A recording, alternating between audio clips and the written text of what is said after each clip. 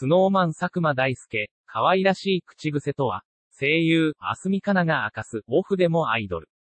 スノーマンの佐久間大介がパーソナリティを務める文化放送、スノーマン佐久間大介の待って、無理、しんどい、毎週土曜夜8時の29日放送会に、声優のあすみかながゲスト出演する。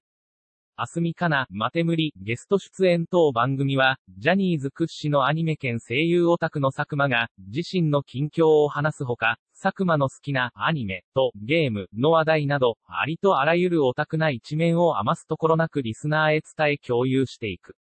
ゲストの安住は、はいよれ、ニャルコさんのニャルコ役や、ワーキングの種島ポプラ役、のんのんびよりの越谷こまり役、また、ひだまりスケッチの湯の役など、数々の人気作品でキャラクターを演じる人気声優。